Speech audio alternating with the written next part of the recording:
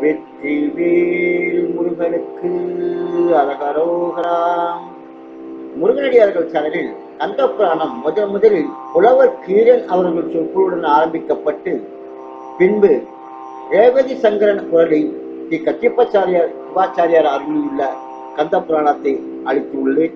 அது இன்றும் தொடர்ந்து கொண்டிருக்கிறது.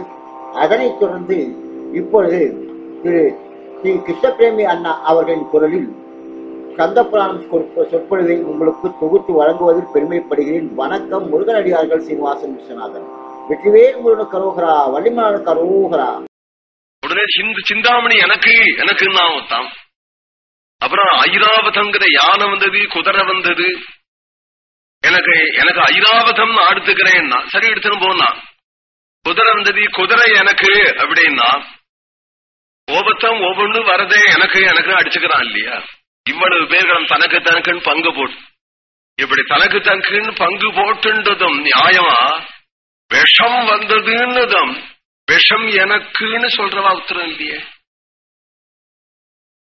விஷம் எனக்குன்னு திரிபுவனமா அலறி ஓடி விஷம் வருது விஷம் வருதுன்னால் திருஷ்டுவா கௌஸ்தூபம் அப்சரோ கணமபீகி பிரக்ராந்தவாதாக. ुः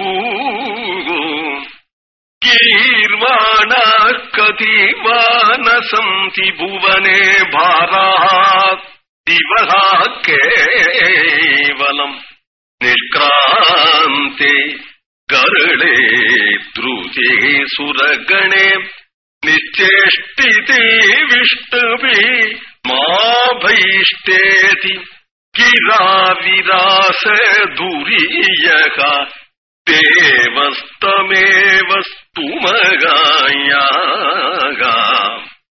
எல்லாம் அலறி பிடிச்சுன்னு வரும்பொழுது அங்கேருந்து யாரும் வரலையே. அப்போ இந்த தேவதைகளை வெய்யறார் இவர் வெறும் பூமிக்கு பாரம்னு மனுஷால தான் சொல்லுவார். இவ சொர்க்கத்துக்கு பாரமா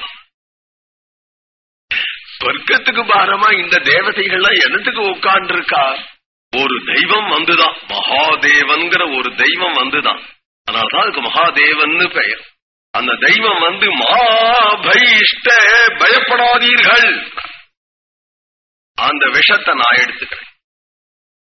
என்று நினைச்சு அந்த விஷத்தை சாப்பிட்டு தன்னுடைய கண்டத்துல எப்பொழுதும் நீலமணியாக தன்னுடைய கண்டத்துல வச்சு நம்ம காப்பாற்றின்றிருக்கிறாரே நீலகண்டாங்கிற சொல்ல சொன்னா கூட போறோம்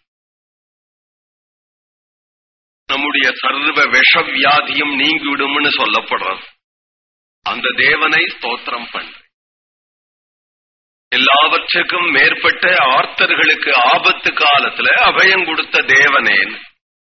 அப்புறம் அமிர்தம் கடைஞ்சாளா அப்புறம் அமிர்தமே மறுபடியும் அமிர்தம் கடைஞ்சாளாம். விஷம் அடங்கி விடுச்சு இல்லையா? அப்புறம் எல்லாருக்கும் சபலம். அமிர்தம் கடைஞ்சு பார்ப்போமே எல்லாரும் மகா அப்புறம் சகஸ்திரதள கமலத்துல மகாலட்சுமி வந்தா லட்சுமி கல்யாணம் ஆச்சு பெருமாளுக்கு. அப்புறம் அமிர்தம் கடைஞ்சதும் தன்வந்தரி ரூபத்துல அமிர்த கலசத்தை எடுத்துன்னு வந்தா அசுரெல்லாம் புடுங்கின் போயிட்டா பகவான் மோகினி ரூபம் எடுத்து அதை மீட்டு தேவர்களுக்கெல்லாம் பரமாறினான்னு அப்புறம் மேல சொச்சம் கதை. என் முக்கியம் நீலகண்ட விஜயம். பரமேஸ்வரன் எப்படி ஆபத்து காலத்துல அபயம் கொடுத்தார். யாராலையும் எதுவும் ஆகாத சமயத்துல வந்து ஆபத்து காலத்துல அபயம் கொடுத்தாருங்கிற பரமேஸ்வரனுடைய வைபவத்தை பெருமையே சொல்லுவதற்காக தான் இப்போ அந்த அந்த விஷயத்தை பிரதானமாக எடுத்துண்டு. மரீச்சி முதலிய பிரஜாபதிகள் இருக்கிறார்கள். அவர்களே பிரம்மதேவன் அந்தந்த ஸ்தானத்திலே நியமிச்சிருக்கிறார். அதுல தட்சன் அப்படிங்கிற ஒரு பிரஜாபதி.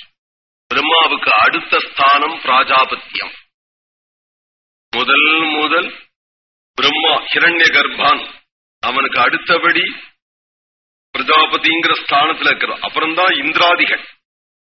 இந்திராதி தேவதைகளுக்கும் மேற்பட்டவர்கள் லோக நிர்வாககர்கள். மற்ற லோகங்களுக்கும் நிர்வாககர்கள் இவர்கள்னா உயர்ந்த பதவியாச்சு. இந்த பதவிக்கு பிரம்மபுத்திரரான தட்சன் மிகவும் தகுந்தவன் என்று தட்சணையே பிராஜாபத்தியம்ங்கிற அந்த பதவியில நியமிச்சாரா பிராஜாபத்தியே சரசிஜ புவான் தாபிதோ ஹந்த தக்ஷோங்கோகோ நிந்தாம் சக்ரே தவ பசுபதே त्वाम् अजानन् सुदृप्तगागा